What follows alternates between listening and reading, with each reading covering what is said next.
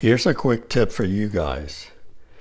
Every six months, take a look at the valve cover bolts and if you see a little bit of dirt surrounding the bolt, that usually is an indication that they're loose. And you want to grab a 7 16 at least that's what my car has. And see, that one was a little bit loose.